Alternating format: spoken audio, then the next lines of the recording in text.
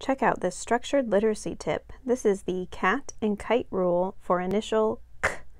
We have giant C.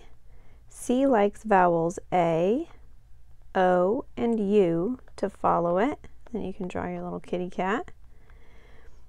And then we can draw our kite over here. We have our K. I'm going to draw a giant T.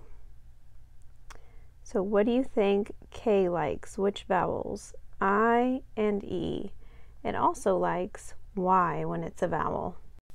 This is a great activity for students when they are learning the cat and kite rule.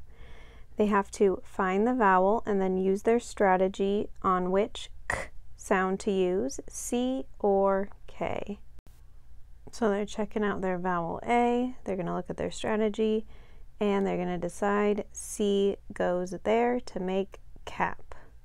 They're looking at the vowel, k, ut, C likes U to follow it, k, I, m, I have an I, so we're going to use K. All right, good luck.